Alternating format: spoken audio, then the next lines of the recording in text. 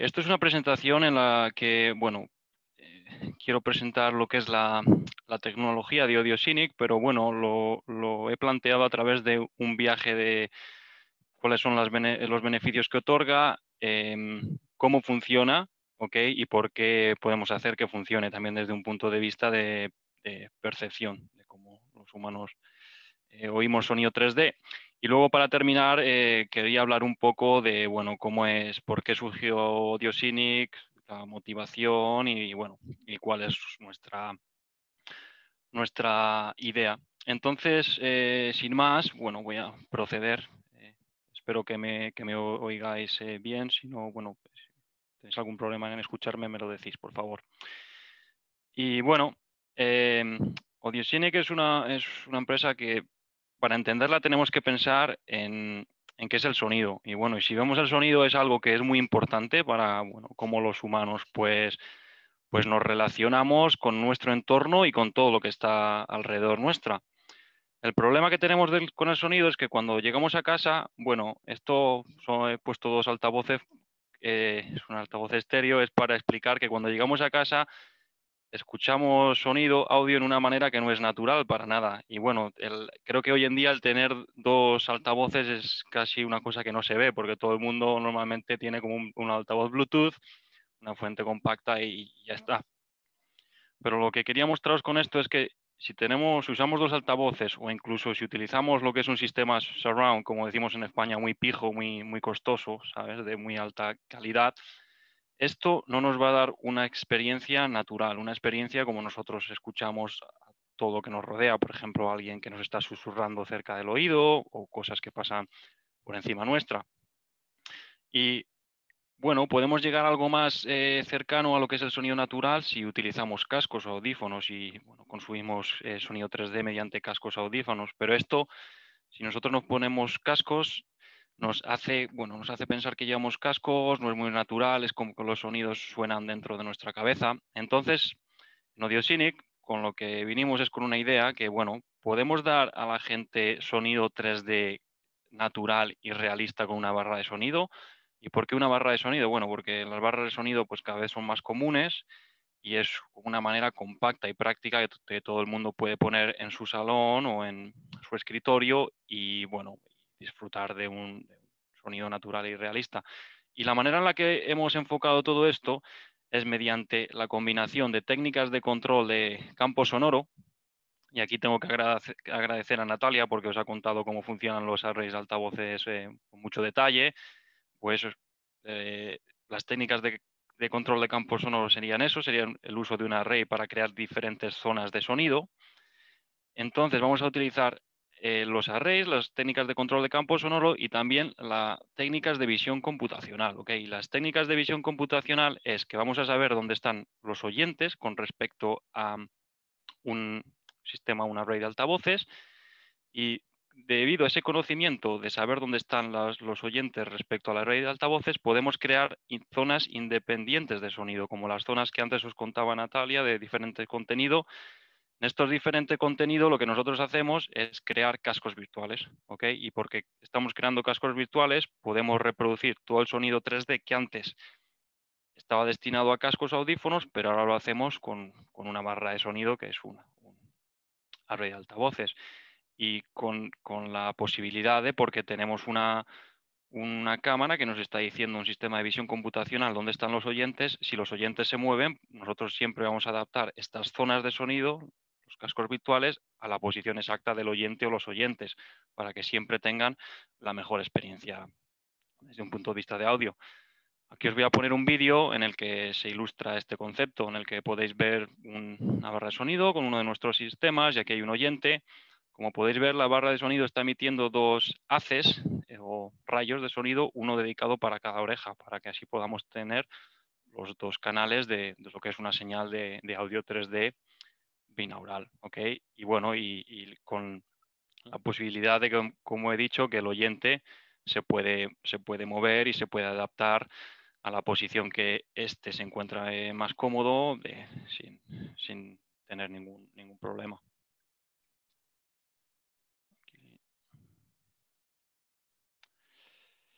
Entonces, una de las cosas que os quería contar para, explicaros cómo, cómo es posible que con solo una barra de sonido enfrente nuestra nosotros podamos disfrutar de sonido 3D.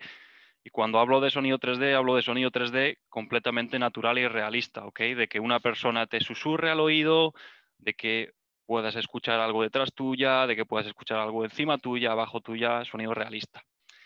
Y para enfocarnos y entender por qué pasa esto, tenemos que ir a estudiar y a pensar por qué los humanos eh, podemos oír en, 3D.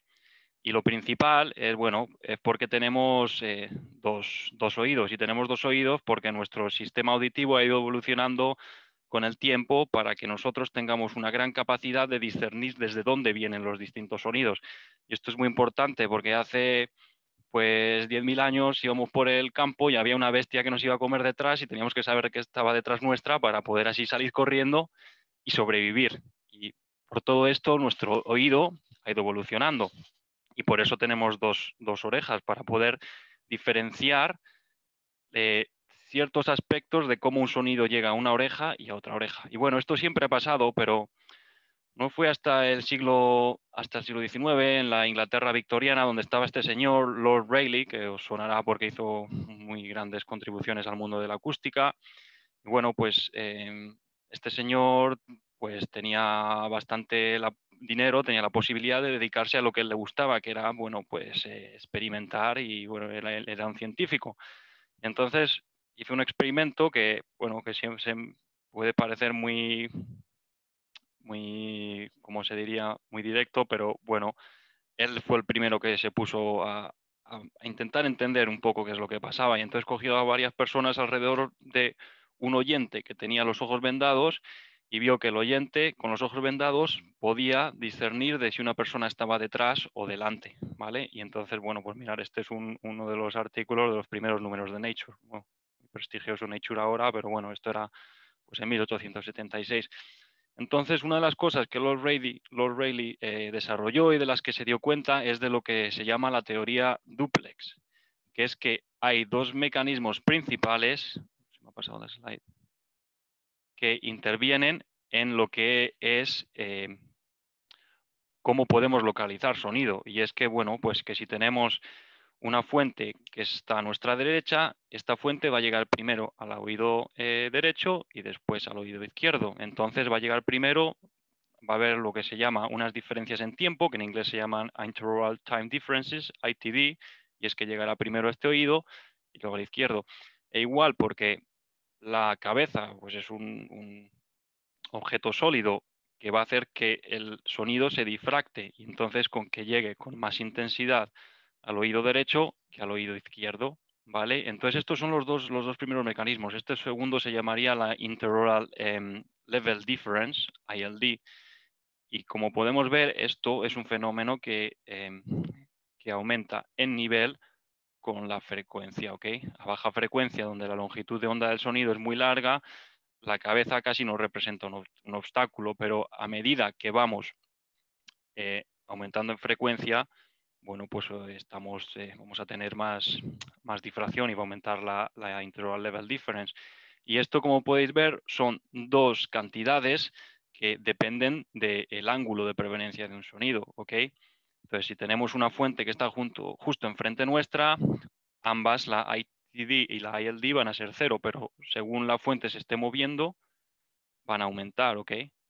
Entonces, esto es el mecanismo principal, estos dos mecanismos, por lo que nosotros podemos discernir desde dónde viene un sonido. Luego después hay, otros mecanismos más complicados, como la forma de la oreja, que nos permite discernir em, de dónde provienen, provienen diferentes sonidos en un plano vertical y luego también el ser humano utiliza otros mecanismos, como por ejemplo el girar la cabeza, porque si os pensáis en, en lo que en, esta ITD tiene lo que se llama un cono de confusión, que es que no podemos saber si un sonido viene de delante nuestra o de detrás nuestra. ¿ok? Pero bueno, si seguimos avanzando, todos estos eh, conceptos, eh, la, la, interval time difference, la interval level difference, se concentran en lo que se llama una HRTF o en inglés Head Related Transfer Functions, que son, serían como funciones de transferencia relativas a la cabeza. Y son funciones de transferencia relativas a la cabeza porque un HRTF son dos funciones de transferencia desde un cierto punto, por ejemplo, medido con un altavoz, a nuestras dos orejas. Entonces, si observamos esta gráfica que tenemos aquí, no sé exactamente si correr, si es aún, si este, esta respuesta que es más elevada es para una para la oreja derecha o la izquierda, porque si pensamos en teoría somos simétricos respecto al plano sagital, respecto a este plano, pero lo que podemos ver si asumimos que la línea roja es la oreja derecha, que esto sería una fuente que estaría a este lado, a nuestro lado derecho, y que entonces va a tener más nivel y que va a llegar antes, si vemos aquí abajo a la izquierda nuestra respuesta al impulso, va a llegar antes a la oreja derecha que a la oreja izquierda. Y esto es lo que es un HRTF. Y el HRTF es un concepto que, bueno, en los últimos años ha tenido un poco de eh, auge respecto del punto de investigación y respecto del punto un poco más comercial, en la que se ha dado mucho énfasis a la personalización. Y la personalización no es más que todos nosotros, la HRTF sería como nuestras huellas dactilares, cada persona tiene una huella dactilar, entonces nosotros tenemos nuestra HRTF con nuestras propias orejas, ¿ok? Entonces nosotros oímos con nuestras orejas de la manera que a nosotros nos gusta. Si nos ponen un HRTF de otra persona, pues sería un poco más, más diferente. Y esto es todavía un, un em, research topic en el que, bueno, pues hay, todavía mucha discusión y se intenta mejorar bastante. Pero también esto lo, lo, habréis podido oír, no sé si muchos de, los que estéis atendiendo este simposio os gustan las consolas. Eh, Sony hizo un anuncio muy grande para la PS5 porque la PS5 al parecer va a tener 5 eh, HRTFs y es para eso, para que tú puedas elegir entre las 5 y puedas utilizar la que más te guste. La buena noticia es que incluso si no utilizas tu HRTF, la que sea tuya, tuya, va a ser todavía, va a ser bastante realista, ¿no? Entonces podemos crear sonido 3D con una HRTF genérica. Y cuando digo crear sonido 3D es porque hoy en día la HRTF es el método más usado para crear, bueno, pues lo que es síntesis de sonido. Y si pensamos, pues podemos sintetizar altavoces virtuales y la manera que sintetizamos un altavoz virtual es porque imaginaros que tenemos un HRTF desde esta posición o desde esta posición, que son dos filtros, uno para la oreja izquierda, otro para la oreja derecha. Si nosotros convolucionamos una fuente mono con, estos con estas dos respuestas al impulso, lo que vamos a tener es que si lo escuchamos luego con audífonos, con cascos, vamos a tener la sensación de que algo viene desde esta dirección o desde esta otra dirección. Y como podemos ver, esto es un, fenómeno que, bueno, eh, lleva, se lleva estudiando desde más o menos los eh, años 80, finales de los 80. En los 80 Sony introdujo el Walkman, bueno, el uso masivo de los cascos y en esos años la NASA empezó a investigar con sonido 3D mediante HRTFs porque como pues, en el espacio no se propaga el sonido, pues quería dotar a sus, eh, bueno, pues a este caso los astronautas, un sistema de que se comunicaran unos con otros y que si están trabajando fuera, arreglando la estación espacial, por ejemplo, pues que pudieran saber de dónde estaban uno con el otro para así estar más coordinados. Y desde ese momento, bueno, pues el sonido espacial tuvo un auge. Desde, como estamos diciendo, empezamos en estéreo con los cascos, después tuvo un, un auge a lo que es el sonido surround, lo que sería 5.1, 7.1, en solo un plano horizontal, hasta ahora, donde tenemos lo que es sonido espacial. Y nosotros lo llamamos sonido espacial porque, bueno, pues tiene también es 3D, ¿no? También tiene elevación y también tiene volumen, ¿no? Podemos escuchar algo que esté cerca nuestro o podemos escuchar algo que esté eh, lejos nuestro.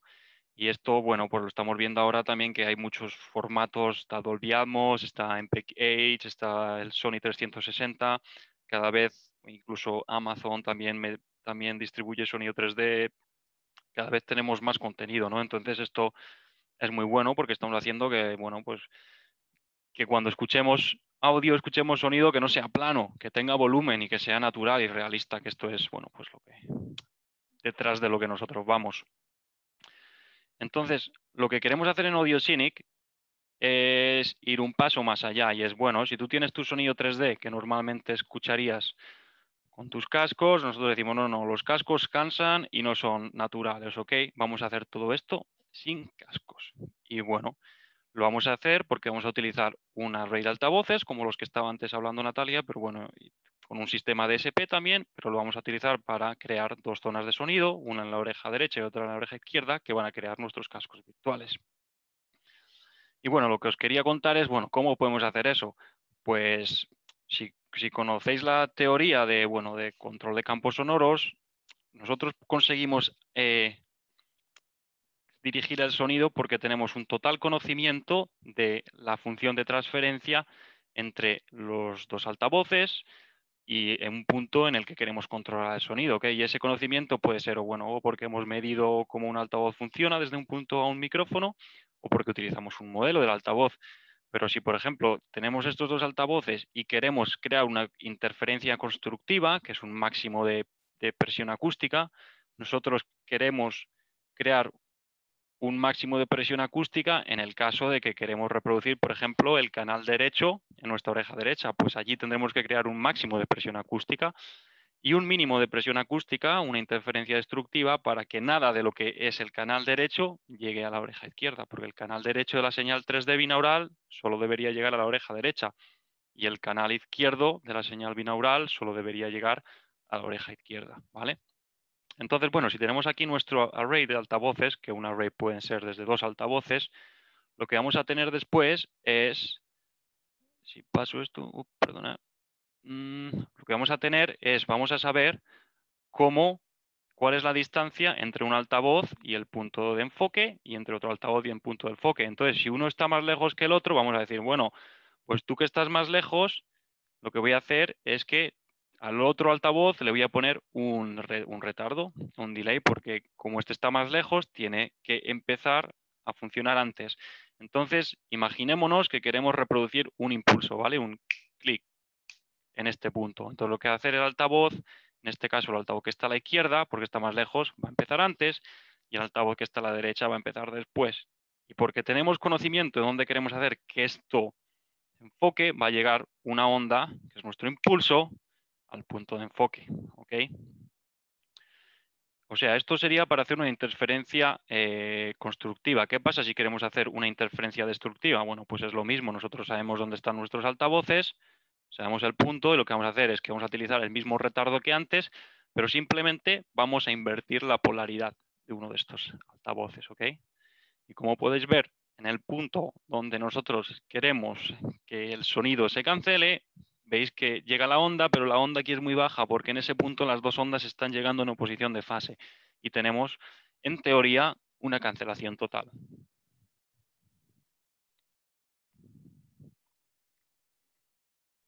Bueno, ¿y cómo vamos a hacer reproducir audio 3D con altavoces? Bueno, pues vamos a coger todas estas ideas de interferencias constructivas y destructivas y vamos a utilizar un sistema procesado de la señal que nos va a permitir hacer eso. Entonces, vamos a crear una red de filtros inversos que nos ayuden, eh, bueno, que hagan que si nosotros tenemos una fuente aquí, una fuente con una, que crea una determinada presión acústica en ambas orejas, en oreja derecha y oreja izquierda, vamos a hacer que lleguen al oyente como eran grabadas por nuestro micrófono binaural.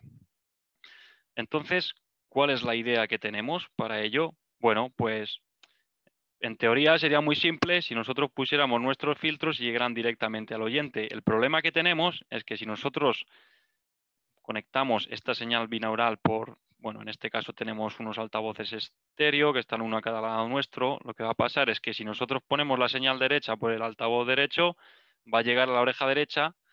Sin embargo, también va a llegar lo que proviene de la oreja izquierda y no queremos porque queremos una, lo que es una reproducción de señal independiente, que solo el canal derecho llegue a su oreja correspondiente. Entonces vamos a utilizar un filtro adicional y vamos a crear lo que se llama una red de cross to cancellation, que en español sería algo como de cancelación de interferencia.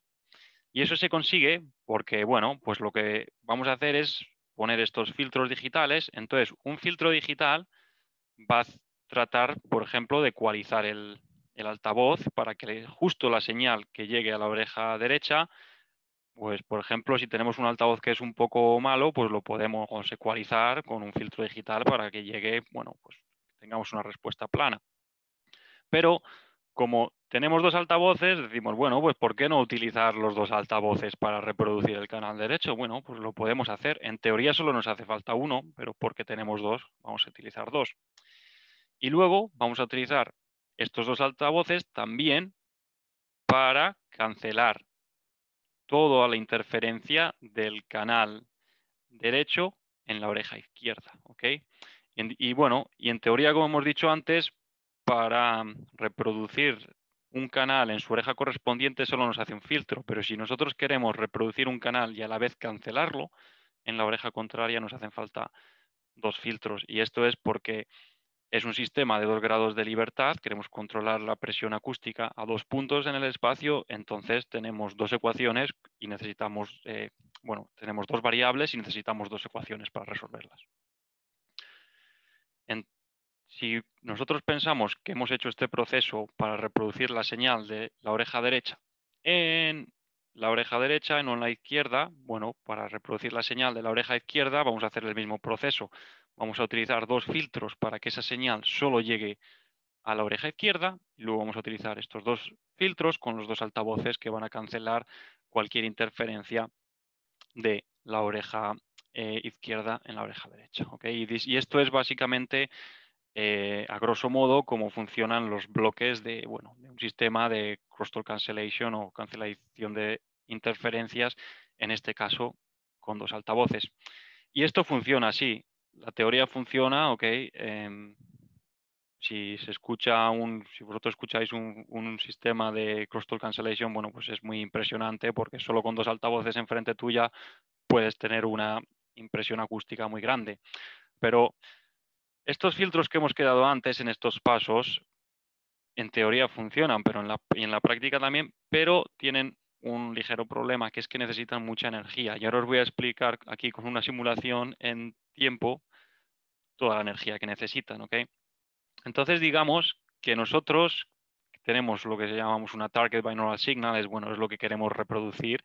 En este caso, esto es un impulso en la oreja en la oreja izquierda, ¿ok? Como podéis ver así. Sería esto lo que queremos reproducir. Entonces, nuestro altavoz izquierdo, porque tenemos dos altavoces y un oyente, lo que va a hacer es que pues va a emitir un impulso. Entonces, ¿qué va a pasar con este impulso? Lo que va a pasar con este impulso es que va a llegar un tiempo después a la oreja izquierda, ¿ok?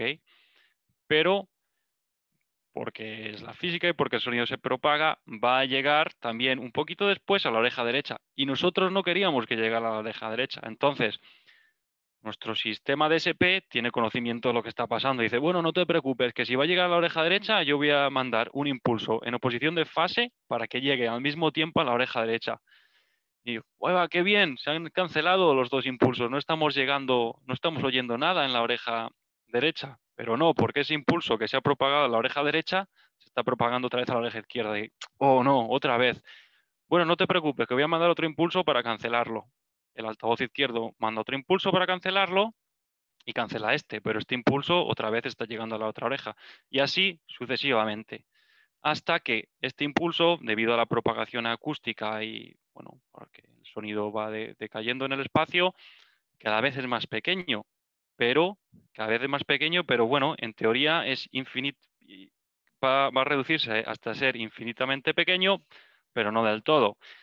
Y lo que vemos aquí es, bueno, es la respuesta al impulso de lo que sería un filtro IR, un filtro de respuesta al impulso infinita, porque podemos ver que para reproducir este impulso que nosotros queríamos necesitamos toda esta energía, que es mucha energía, ¿ok? Entonces, y es esto es una característica de los arrays de altavoces, funcionan, pero necesitan quizás en distintas, en distintas bandas eh, mucha energía. Si lo miramos otra vez para todo esto, necesitaríamos todo, toda esta otra energía. Y es la consecuencia es que, bueno, si nosotros miramos a los filtros de un sistema estéreo de cancelación de interferencias, los filtros tienen pues lo que sería una respuesta en frecuencia típica de un filtro peine. Y mientras hay frecuencias, como aquí alrededor de un kilohercio, donde el sistema funciona bastante bien, hay otras frecuencias donde necesitamos, mira, como 25 decibelios más de lo que sería la norma del filtro para, poder, poder funcionar. Aquí os quería enseñar, bueno, lo que estábamos hablando, pero una simulación en la que vais a poder ver este, este proceso y lo que igual hay dos altavoces que van a reproducir un impulso en una de las orejas de este oyente, en este caso la oreja derecha. Si nosotros damos clic aquí, vamos a ver que este altavoz ha reproducido un clic y este otro altavoz reproduce otros clics en contrafase. Entonces llega la primera onda, y luego todas las, ondas subsecuentes se cancelan en ambos oídos. Pero como podéis ver, para solo un impulso que queríamos reproducir, los altavoces se quedan radiando infinitamente hasta que todo el sonido se cancele en ambos oídos. En teoría esto funciona. El problema que tenemos en la práctica es que si nuestro oyente se moviera un poquito para un lado o para otro, la zona donde esta cancelación está pasando quedaría, bueno, el oyente estaría fuera de esa zona, entonces pues no funcionaría. Os lo pongo otra vez para que lo veáis.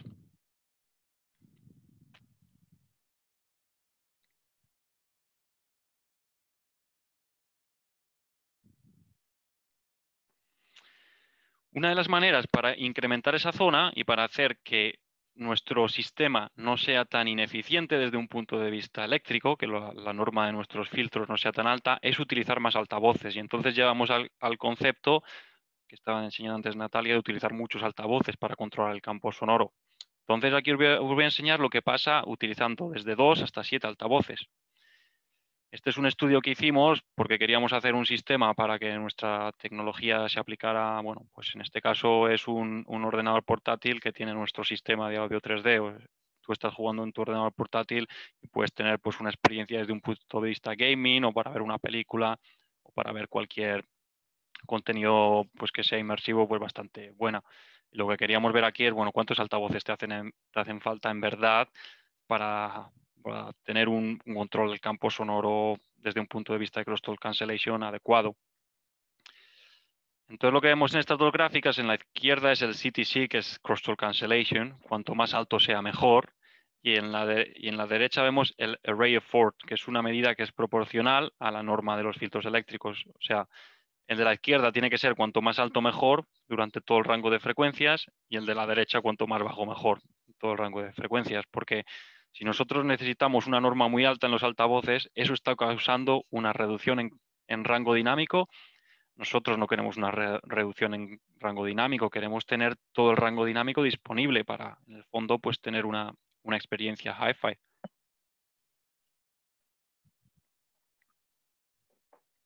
Entonces lo que podemos ver en esta gráfica es que con dos altavoces hay ciertas frecuencias en las que logramos un alto número de crosstalk cancellation, pero hay ciertas frecuencias en las que no, en las que no podemos eh, lograr crosstalk cancellation. Y esto es un problema, porque si queremos, queremos crear el efecto de cascos virtuales, tenemos que tener un nivel de crosstalk cancellation pues bastante elevado, idealmente pues entre 300 hercios y 10 kilohercios al menos, porque esto lo que va a pasar es que aquí funciona en este rango, pero 2, 3, 4 a 4,5 kHz no funciona. Entonces eso va a interferir con la manera en la que nosotros percibimos la señal, la señal binaural.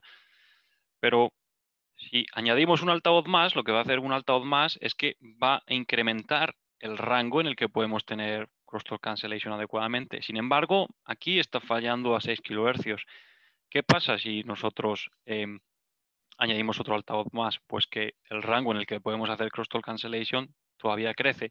Y a la vez lo que está haciendo es que eh, está reduciéndose lo que es el array of four, la norma de los filtros, por lo que el rango dinámico en todas estas frecuencias, entre digamos pues 2 kHz y 7 kHz, pues va a aumentar, que es una cosa bastante, bastante importante. Igual, si tenemos 5 altavoces, pues va a seguir aumentando, y si tenemos 7 altavoces, pues va a seguir aumentando. Y lo que vemos es que si utilizamos siete altavoces o cinco, bueno, pues tenemos, un control, lo que sería el crosstalk cancellation durante todo el espectro, o por lo menos bastante grande, entre, digamos, unos 500 hercios y, bueno, 10 kilohercios casi, y además, de, por encima de 1000 hercios, tenemos una, la norma de la array se ha deducido bastante baja. Como podéis ver, una cosa que a lo mejor algunos se ha dado cuenta es que la norma baja frecuencia es casi siempre lo mismo, porque la norma baja frecuencia depende no del número de altavoces, pero de la dimensión que tenga el array. Y esto era un estudio que hicimos en que la dimensión o la apertura total del array la, mantuvimos eh, básicamente fija. Otra de las, de las eh, ventajas por la que es bueno utilizar una red de altavoces es porque es mucho más directivo, como lo enseñaba antes Natalia. Y bueno, esto, tiene esto es importante cuando nosotros escuchamos mediante un sistema de crosstalk cancellation en una habitación normal, como que tiene reflexiones. ¿okay? Aquí estos dos plots en el azul estamos viendo un sistema que utiliza eh, dos altavoces, ¿ok? Y en el plot rojo estamos viendo un sistema que utiliza, en este caso creo que eran 20 altavoces. Como podemos ver, el sistema de 20 altavoces es mucho más directivo. Los dos eh, crean el campo que es eh, necesitado para reproducir, en este caso sería eh, la señal binaural que llega a la oreja izquierda los dos son igual de válidos. En teoría, si nosotros comparáramos estos dos sistemas en una cámara anecoica, deberían funcionar de la misma manera. Pero cuando nosotros llevamos estos dos sistemas, el de dos altavoces o el de 20 altavoces, a una habitación normal, el de 20 altavoces tiene muchas más ventajas porque no está creando, no está excitando la reverberación de la sala igual y entonces pues la influencia de las reflexiones es, menor, lo que en el fondo eh, es algo pues positivo para, para la reproducción de audio binaural a través de altavoces.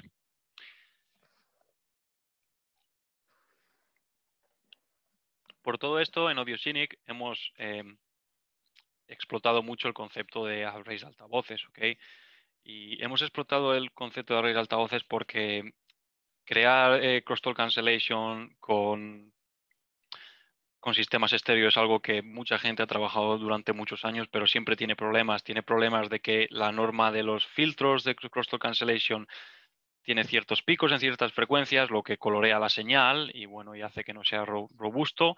Y luego, pues lo que estamos hablando, problemas de también de cómo estos sistemas eh, funcionarían en una habitación normal. Y nosotros lo, nuestra, nuestra visión y nuestro leitmotiv es crear voces que tú básicamente, nuestra barra de sonido, la pongas y empiece a funcionar.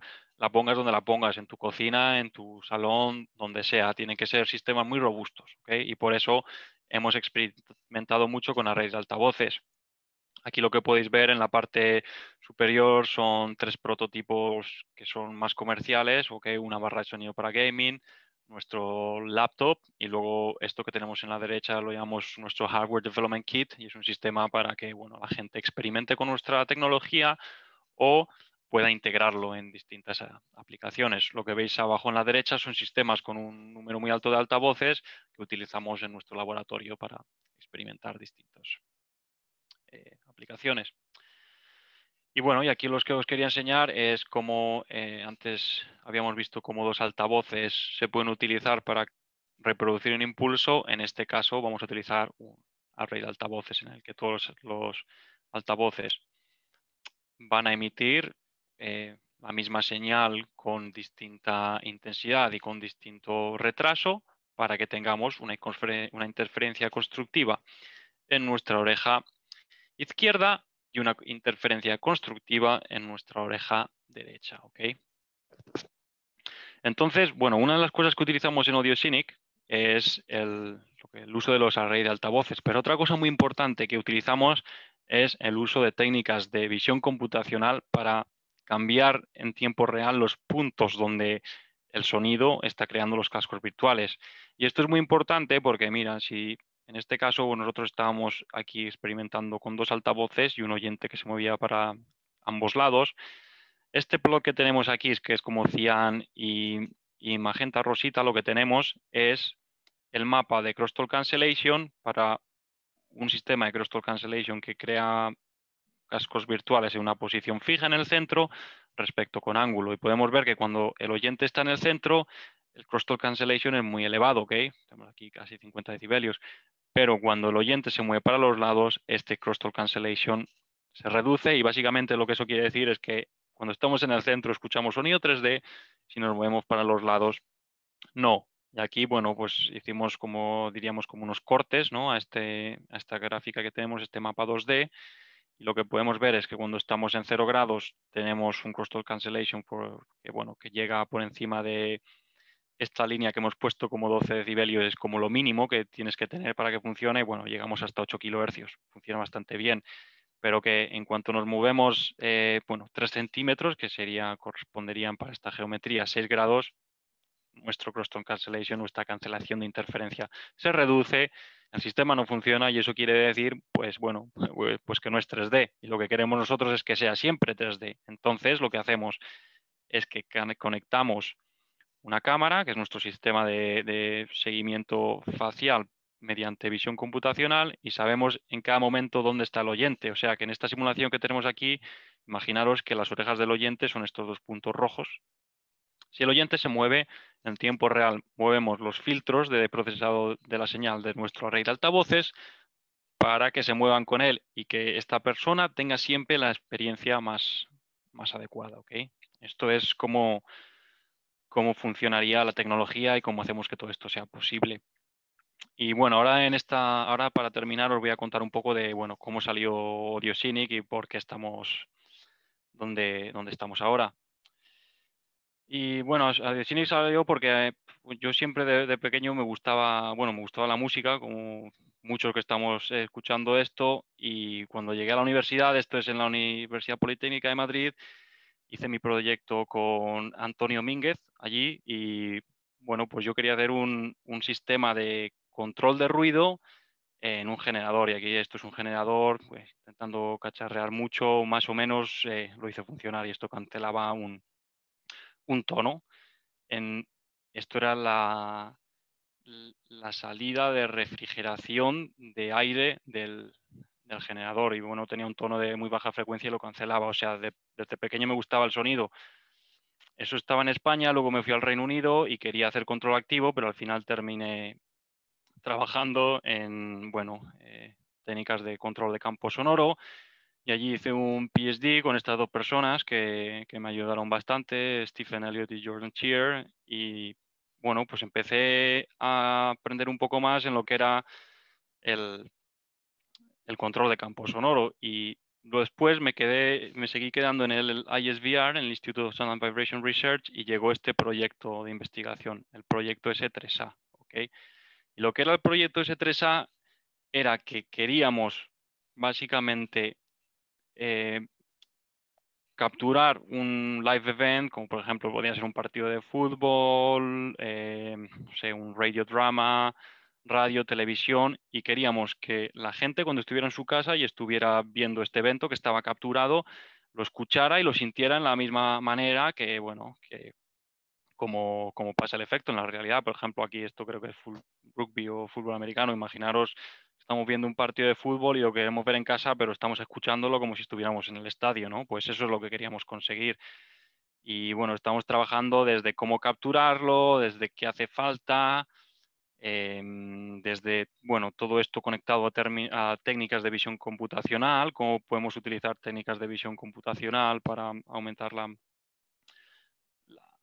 percepción y yo estaba trabajando en la, en la parte de audio. Y entonces cuando estamos trabajando en la parte de audio, en la parte de reproducción, bueno, esto pues estaba muy chulo porque conocía mucha gente, todos estos de la foto, expertos de grandes universidades, la Universidad de Salford, la Universidad de Surrey, eh, gente de la BBC RD, bueno, era bastante, bastante chulo. Y lo importante es que, bueno, nosotros pensábamos que teníamos la posibilidad de cambiar el status quo, de dar algo a la gente que de verdad hiciera que cuando estaban en casa podían escuchar de sonidos, sonidos realistas. Y esto es de verdad lo que nos, nos motivó a, bueno, esta idea funciona, vamos a, crear Audiosinic.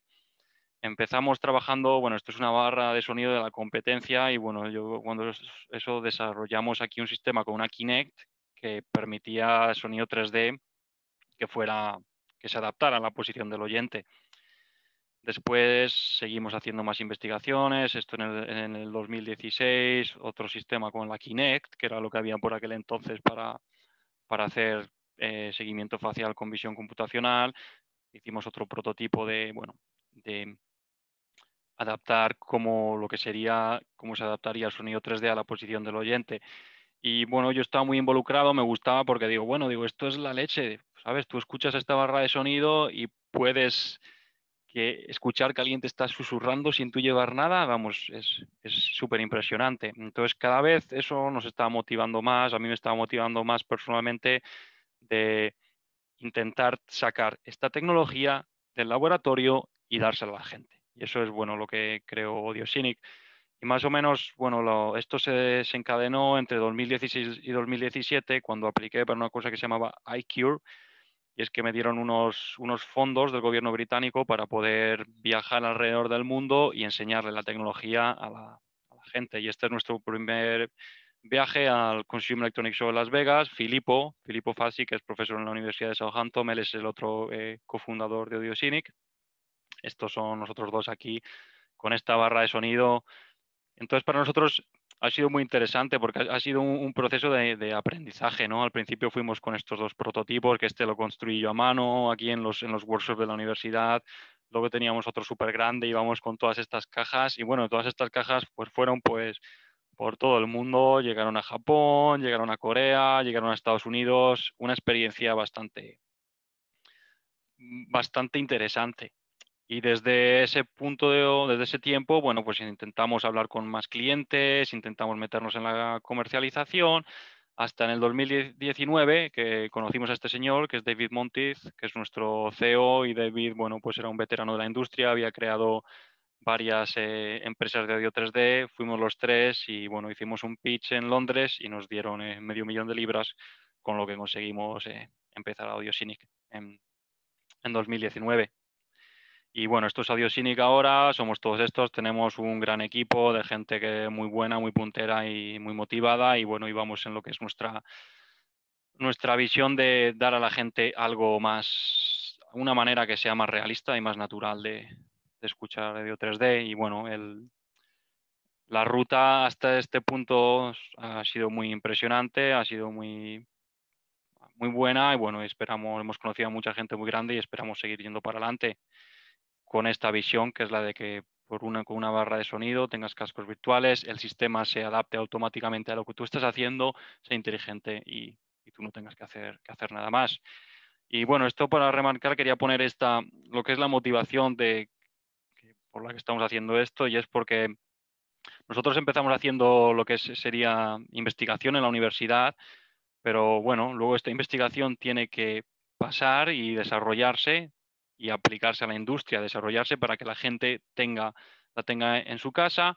A la vez, esto puede generar valor, puede generar valor que en el futuro podamos invertir otra vez en lo que es, eh, sería la investigación básica y esa investigación básica en el futuro, a su vez, de eh, raíz a más innovaciones. Y esto es un, esto es un, diagrama que todos los que trabajen en la investigación, en la innovación y los políticos que están alimentando todo esto se lo tenían que tatuar, porque bueno, pues lo que pienso yo que es muy importante y es la, la principal motivación. Y bueno, como hemos dicho, nuestro, nuestro sueño, lo que queremos hacer con Audiocinic es construir un camino hacia una realidad simulada que, que nos haga ser más humanos.